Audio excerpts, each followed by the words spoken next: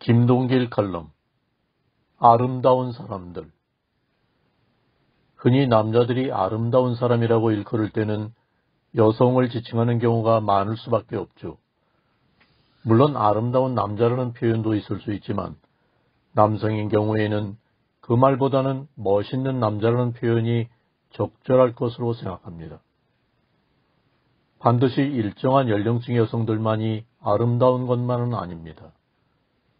침팬지들을 위해 한평생을 바쳤다는 제인 구달은 오늘 어쩔 수 없이 할머니가 됐지만 여전히 아름다운 여성이죠.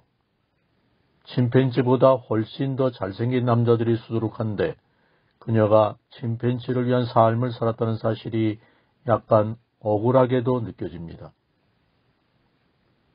아름다움이 20대, 30대의 젊은 여성들에게만 있다면 우리가 사는 인생은 살만한 가치가 없다고 느껴질 것입니다.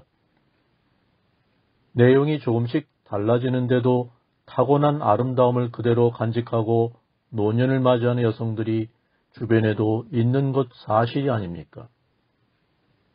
매우 젊은 여자들만이 사랑을 받는 세상이라면 나이가 들어도 계속 아름다움을 간직한 여자들은 망연 자실할 수밖에 없지 않습니까?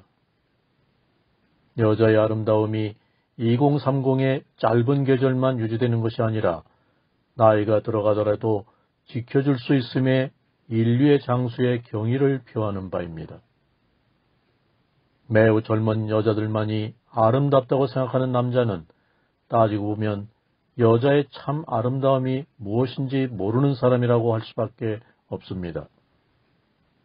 세월이 가도 변하지 않는 여성의 아름다움이 상상보다도 훨씬 더 오랜 세월 유지될 수 있다는 사실을 나는 아름답게 나이든 여자들에게 꼭 전해주고 싶습니다.